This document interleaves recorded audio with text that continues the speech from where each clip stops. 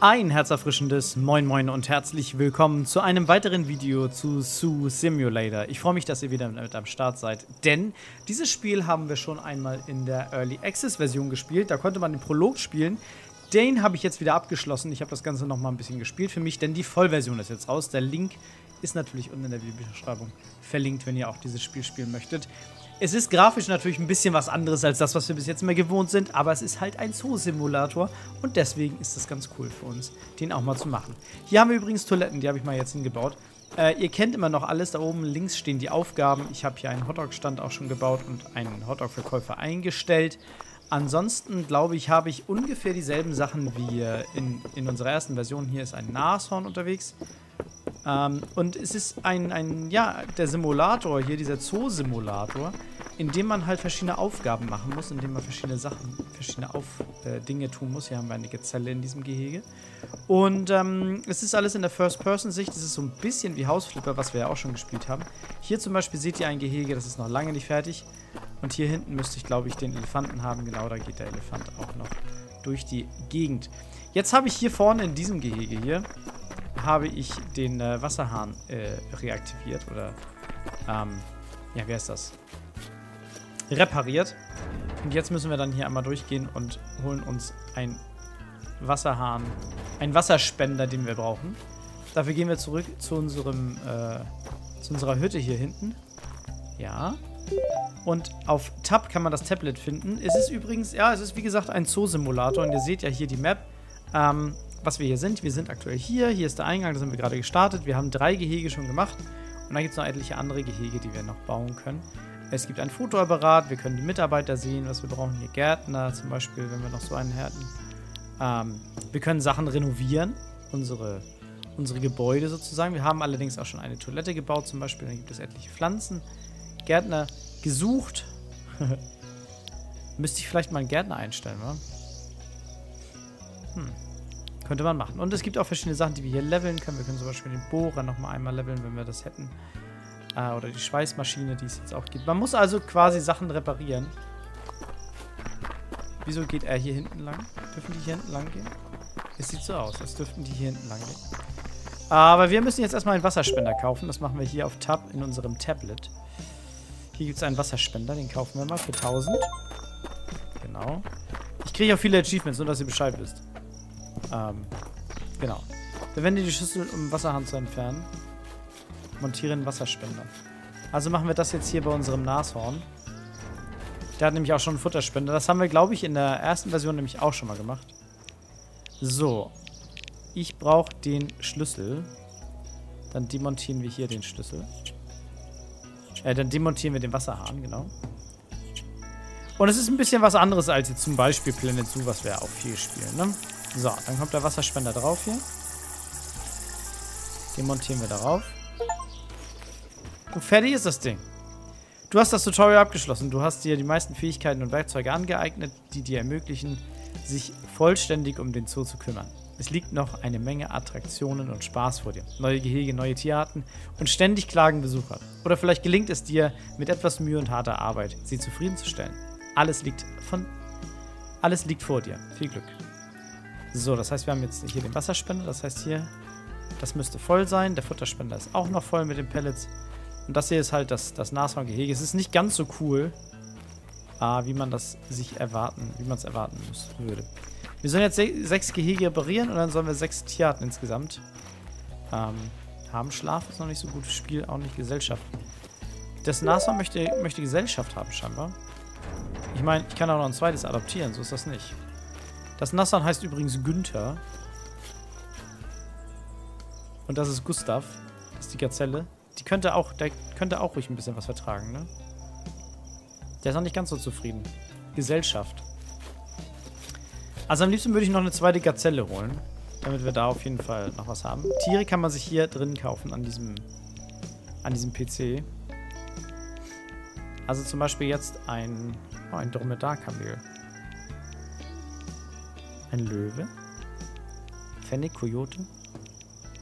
Es keine weibliche Gazelle mehr oder was? Doch hier. Adoptieren wir die. Kommt hier rein. Genau, afrikanischer Büffel. Es gibt etliche Tiere. Wir sehen es in der Enzyklopädie. Hier könnt ihr sehen, es sind jetzt Breitmaulnashörner im Spiel, Gazellen, Strauße, Nilpferde, Elefanten, Grizzlies, afrikanische Büffel, Dromedare, Kojoten, kleine Pandas, Phoenix, Hyänen, Gorilla, Löwen und Tiger. Genau. Die sind jetzt im Spiel. Aber wir holen jetzt erstmal das, das Tier raus. Der müsste hier vorne sein. Hier. So. Das ist Gabi. Weil ist ja ein Weibchen. So. Dann haben wir da auf jeden Fall zwei Gazellen. Die müssten jetzt Gesellschaft besser sein. Ne? Spiel haben die noch nicht so viel. Das heißt, wir gehen mal rein. Das finden die gut. Das finden die scheinbar gut. Kann ich hier eigentlich solche Sachen kaputt machen? Nee. Wie viel Futter haben die noch? Man weiß es nicht. Ich meine, ich kann halt noch ein bisschen auffüllen hier. So. So, äh, auf V kannst du mal eine Dekoration machen. Und zwar hätte ich ganz gerne jetzt Spielzeug für die. Ne? Was für Spielzeug würden die denn nehmen? So ein Kegel vielleicht. Den wir dann hier hinstellen. Den können die dann umlaufen, die beiden. Nach unten scrollen, verkleinern.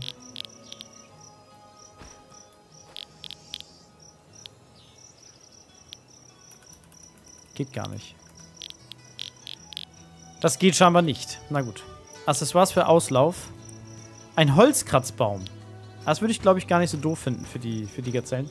Wobei, warte mal, kann ich mir das anzeigen, was, für, was, was die Gazellen brauchen in der Enzyklopädie? Nicht? Hecke und Heu. Hecke und Heu. Also brauchen sie die Dinger hier gar nicht. Kann ich die verkaufen? Auf F verkaufen wir Sachen. Hecke und Heu.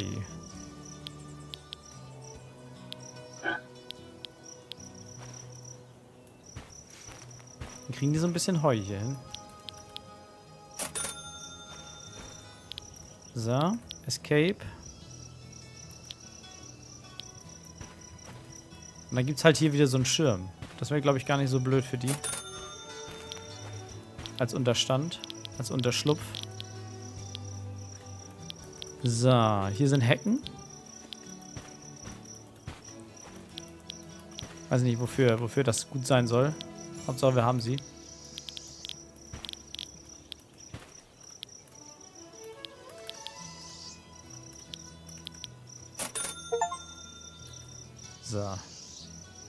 Achievement gekriegt für mehr Dekoration.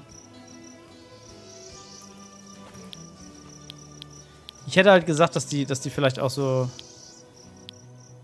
Dass die auch einen, einen Kratzbaum brauchen, aber brauchen die schon mal nicht.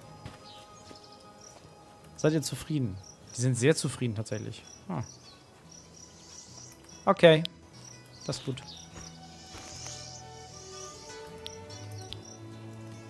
Dann lassen wir sie mal hier in Ruhe jetzt wieder. Es gibt noch ein paar andere Sachen, die wir reparieren müssten. Aber beim Nashorn müsste das eigentlich okay sein. Wasserspender in sonnige Savanne ist kaputt gegangen. Ist das hier, das ist Dschungel, Wald. Sonnige Savanne, das ist hier beim, beim Nashorn, das ist kaputt gegangen. Wie kann das denn sein? Das ist ja nicht so gut. Wir brauchen einen Schraubenschlüssel.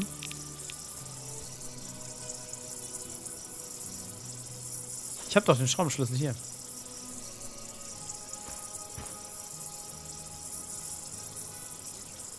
Upgraden Sie den Schraubenschlüssel. Was? Dann machen wir das mal.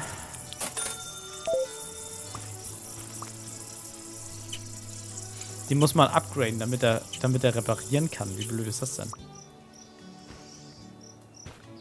So, jetzt auch Ruhe hier beim Nashorn. Sonst schweiße ich das an.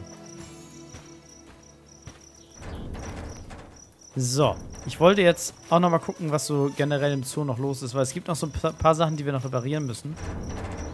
Gerade auch hier hinten bei den Gehegen. Also hier bei dem Nashorn haben wir eigentlich alles repariert. Hier könnte man tatsächlich auch noch Sachen hinbauen, ne? Ein dekoratives Tor zum Beispiel.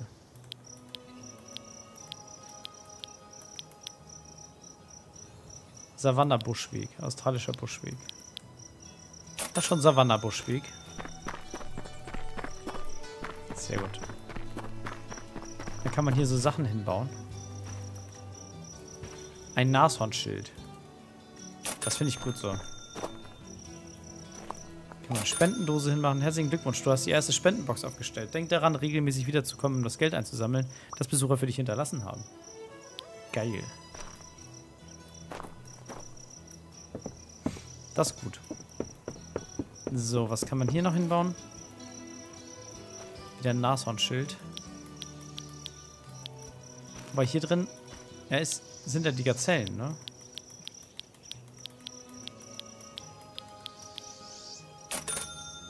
Eine Gazelle. Hier ist wieder eine Spendenbox. So, gibt es irgendwelche Sachen, die wir reparieren müssen? In dem Gehege muss ich auf jeden Fall nochmal beigehen. Hier machen wir dann das Elefantenschild.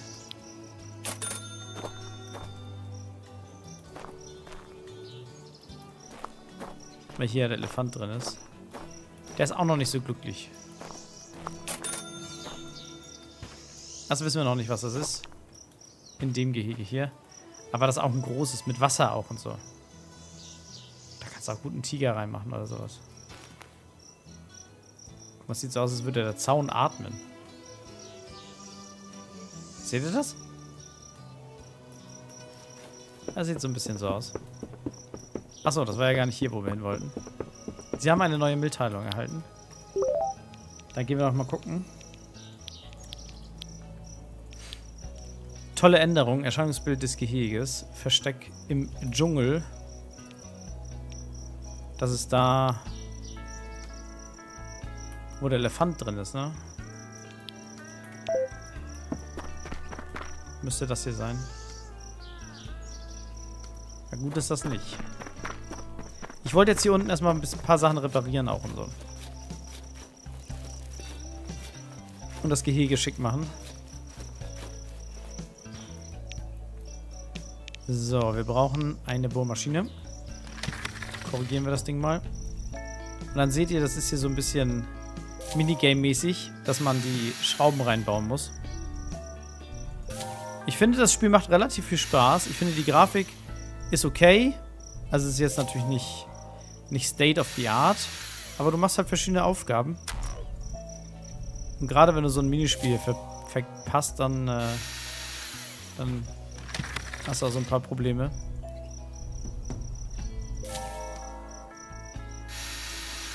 Sehr gut. Es scheint zu laufen.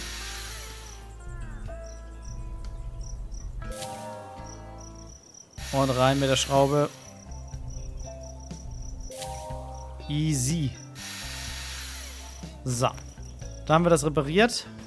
Weil hier drin gibt es halt auch noch so ein paar Sachen, die wir, die wir kaputt machen müssen auch, glaube ich. Hier gibt es so einen Unterstand. Den hier zum Beispiel. Den könnten wir gut zerstören. Und dann kommen die, die kaputten Sachen in diese in dieses äh, Umzugsding hier, in diesen Container. Und dann... Dann haben wir hier nämlich Platz für, für ein neues, neues Gehege. Für neue Tiere. Weiß auch nicht, warum die hier so einen Unterstand einfach stehen lassen haben. Aber es ist natürlich ein alter Zoo, ne? das darfst du nicht vergessen.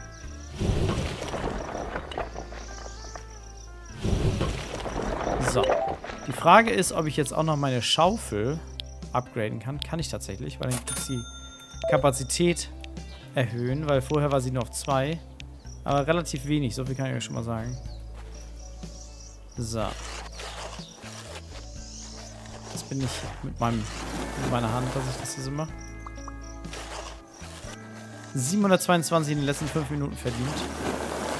Tendenziell würde ich sagen, wir brauchen halt auch noch ein paar Shops, ne? Können wir aber dann auch noch machen. So. Schmeißen wir Müll weg. Das ist so ein bisschen, das so ein bisschen das, was man hier in dem Spiel macht. Wir holen uns natürlich auch noch mal ein paar, paar Tiere.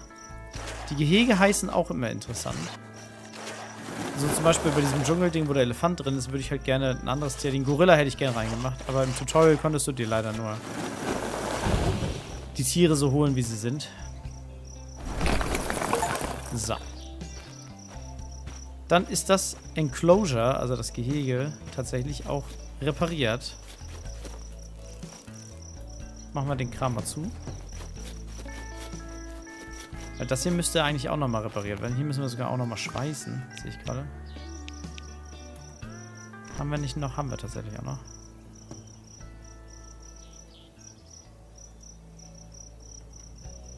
Das ist ein Wasserhahn, den wir haben.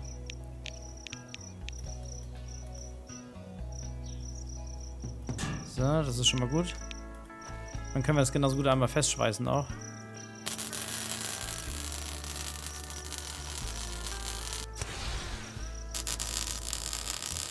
Weil dann haben wir den, den, den Zaun repariert.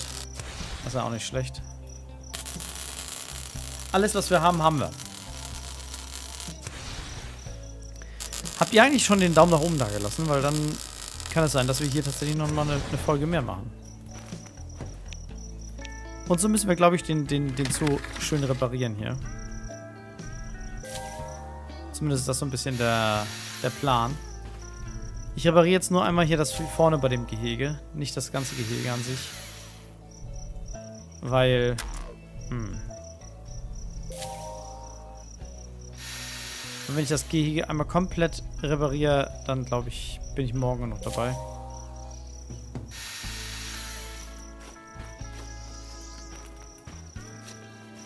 Und wir wollen ja schon gerne nochmal neue Tiere haben, ne? Also lass einmal sehen, was für ein, für ein Gehege das ist hier. Das ist ja stiller Hain. Ein stiller Hain. Also tendenziell würde ich hier halt auch gerne ähm, die Gazellen hätte ich dir gerne hingemacht. Wenn ich ehrlich bin. Aber ich weiß nicht, wie ich Tiere um, umsiedeln kann, ob das überhaupt geht. Tierverwaltung. Tiere verwalten. Muss repariert werden bei den, bei den Gazellen. Ach, geht tatsächlich. Ich kann die um, umwechseln. Dann sind die beiden jetzt in dem Gehege da, im Stiller Hain. Und Waldhöhle. Da können wir irgendwie einen Grizzly haben oder so.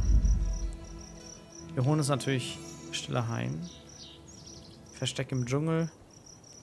Das wäre so grasiges Plateau, glaube ich, für den Elefant, für Manfred.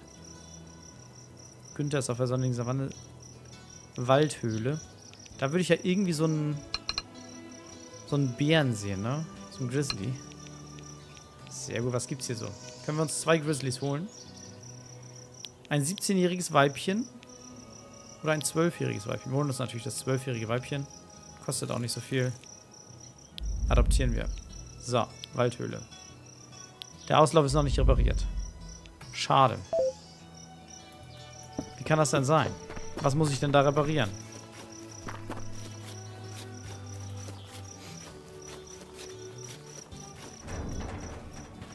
Was muss denn repariert werden? Hat das Elefant. Das war falsch. Aber hat er noch Wasser? Ja, so ein bisschen Wasser kriegt er jetzt noch. Super. Das war der Elefant. Machen wir nochmal zu. Dann ist der andere, das andere Gehege hier hinten. Was muss repariert werden? Der Zaun. Ja, okay. Der Zaun.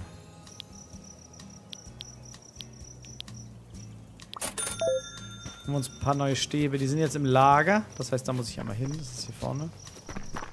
Kann man die Stäbe mitnehmen.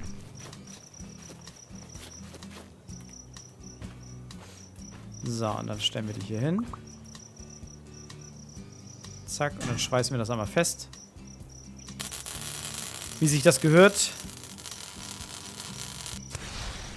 So. Schweiße, schweiße, schweiße. Und schon schöne Schweißnaht hier. Halt so, dass wir da auch Grizzlies reinmachen können, ne? So, sehr gut.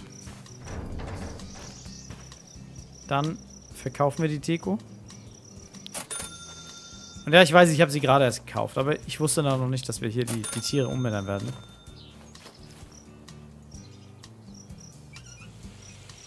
Bisschen Wasser auffüllen für den Bären, den wir uns jetzt holen werden. Der Unterstand ist okay. Oder? Ach komm. Was soll es? Was soll es? So, was sagt die Enzyklopädie? Was möchten Grizzlies haben? Grizzlybären, die brauchen Lebens... Eine Hecke, einen Kratzbaum. Hecke und Kratzbaum.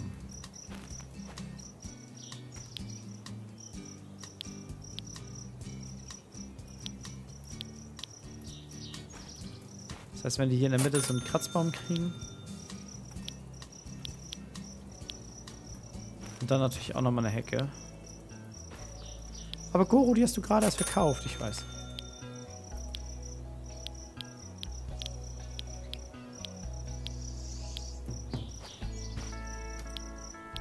Okay. Gibt nicht so viele Schirme. Dann ist das halt so. So, wir gehen jetzt erstmal einen Grizzly kaufen. Der kann nämlich tendenziell auch alleine leben, glaube ich. Ist sie noch da? Ist sie noch. Aber ein Männchen haben wir auch noch. Ja gut, dann nehmen wir uns natürlich beide hier.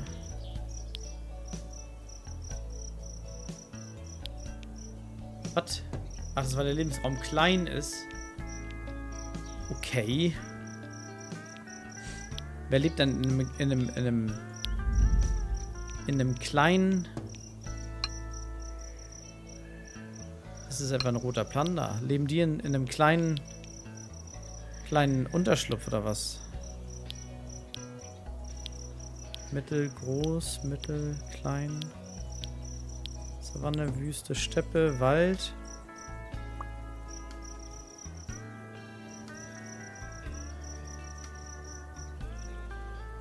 Ja, ein roter Panda dann. Holen wir uns natürlich ein paar rote Pandas. Einmal hier dieses Weibchen. Die zieht hier ein.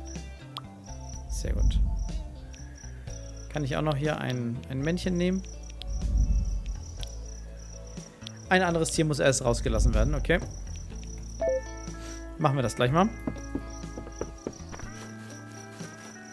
Den können wir dann erstmal hier freilassen, weil der ist tendenziell glücklich in dem Gehege. Und dann müssen wir aber zu Stille Hain, weil die Grundbedürfnisse der Gazellen noch nicht... Sehr gut. Panda... Äh, Pia heißt sie jetzt. So, Pia. Mag, mag sie denn die Sachen überhaupt? Hatte ich ja jetzt anfangs Hecke, Kratzbaum, Regenschirm. Sehr gut. Dann machen wir noch einen Regenschirm hier rein. So. Dann ist sie zufrieden. Und dann weiß ich gerade gar nicht, hat die dann das Fressen, was sie braucht? Obst und Gemüse, ja, sehr gut. Das heißt, wir gehen dann einmal zu den zum Hain. Eine beträchtliche Summe in meinen Spendenboxen angesammelt. Das finde ich gut. 2000. Alter. Gute Geschichte. So, hier ist der Wasserhahn kaputt. Das ist okay für mich. Hier müssen die Gazellen drin sein, ne? Die sind ihr nicht so zufrieden. Achso. Deswegen. Wusste ich nicht, dass die hier so so random rein reingedingst werden hier.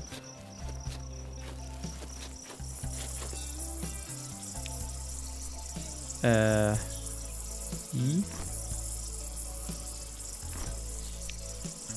Reparieren wir den mal.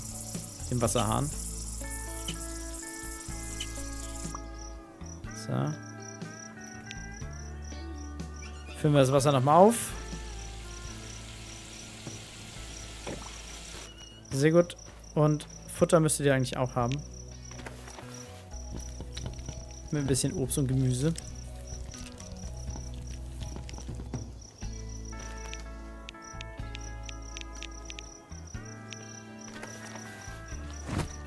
Voll. Ach, guck mal, die haben sogar Durst. Die Kleen.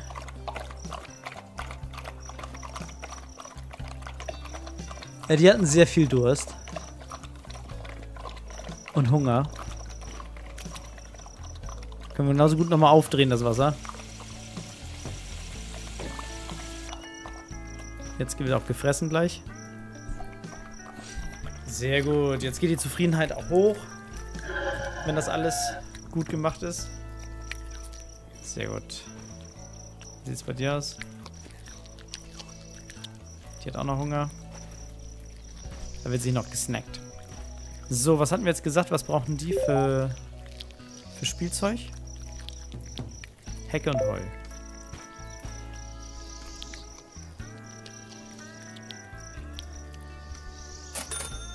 Nehmen wir ein bisschen Heu. Und dann eine Hecke.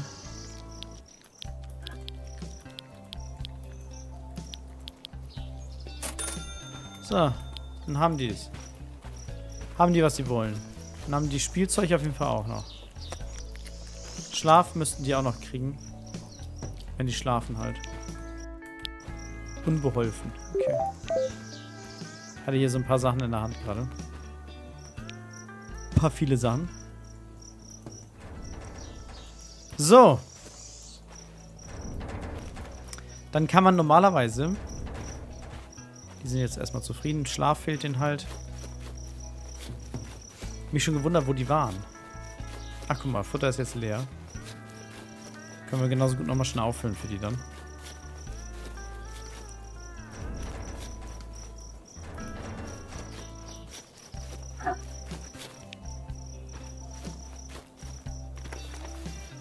Alles weggefressen. Jetzt gibt es nur noch Gemüse hier. So ein bisschen zumindest. Da muss ich eigentlich noch mehr... Kann genauso nochmal Pellets kaufen. Gemüse. Obst auch. Ich glaube, wir haben am meisten die Obst und Gemüse fressen. Und dann hätte ich gern noch einen Gärtner, der sich hier um die, um die Pflanzen kümmert eigentlich, ne? Wenn ich ehrlich bin.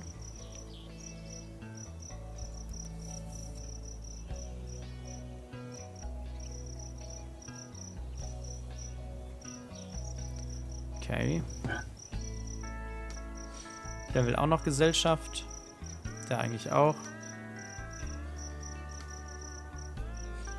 Die sind eigentlich sind die zufrieden, die, die beiden Gazellen.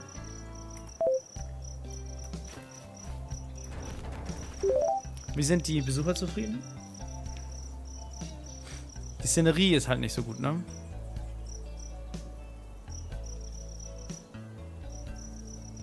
Also wir können eigentlich gucken. Eine Rezeption, ein Hauptbüro, eine Kaffeeecke. Büro.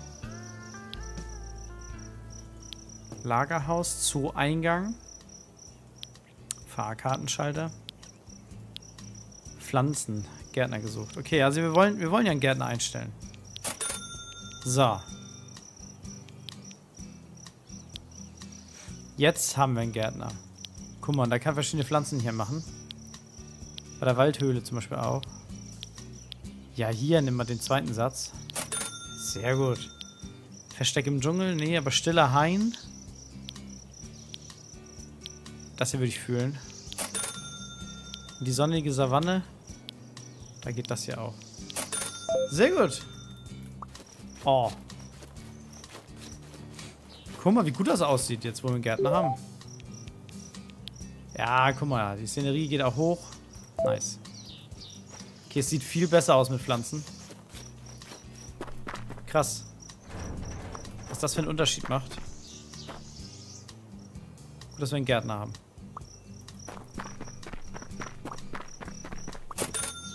Das Tor ist kaputt gegangen. Guck mal, auch hier, wo der kleine Panda drin ist. Sieht auch asiatisch aus. Nice. Was ist hier kaputt gegangen? Beim Elefanten ist was kaputt gegangen. Ah, das Tor ist kaputt gegangen. Machen wir das mal. Ich weiß nicht, ob man Handwerker haben kann, dass die das hier alle regeln. Weil aktuell machen wir ja viel von solchen Sachen. Ne? Und so geht's halt weiter, ne? Ich würde ja sagen, dass das hier jetzt erstmal die erste Folge war. Ihr lasst auf jeden Fall einen Daumen nach oben da. Und äh, schreibt gerne in die Kommentare, ob ihr mehr von dem Spiel sehen wollt. Und dann können wir einfach mal nochmal eine zweite Folge machen, oder nicht? Na, würde ich einfach mal so schätzen. In diesem Sinne, danke für eure Aufmerksamkeit. Lasst gerne einen Daumen nach oben da und wir sehen uns dann, wenn ihr mögt, im nächsten Teil. Ich würde mich freuen. Bis dahin, haut das mal rein.